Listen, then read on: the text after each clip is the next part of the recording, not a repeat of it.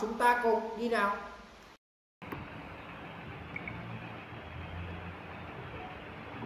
Xin chào các bạn nhé. Ngày hôm nay mình sẽ bắt đầu đi tô màu. Bây giờ mình sẽ bắt đầu tô màu nha.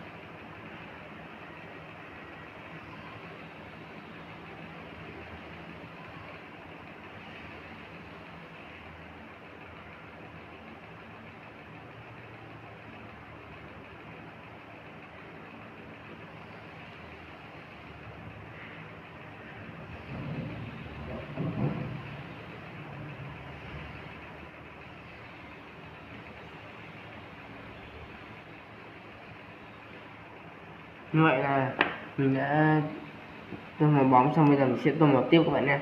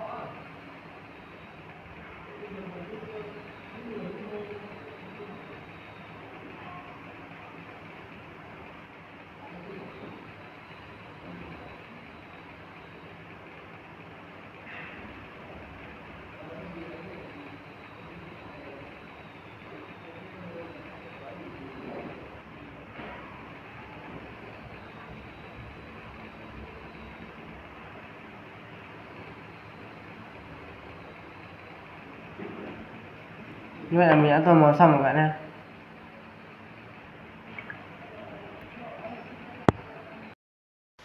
Xin chào tất cả các bạn đã quay trở lại với kênh youtube của mình. Video ngày hôm nay mình sẽ hướng dẫn cho tất cả các bạn cách tô màu sao cho thật là đẹp. Và bây giờ chúng ta cùng đi nào. Xin chào các bạn nha, ngày hôm nay mình sẽ bắt đầu đi tô màu nha. Bây giờ mình sẽ vào chi tiết luôn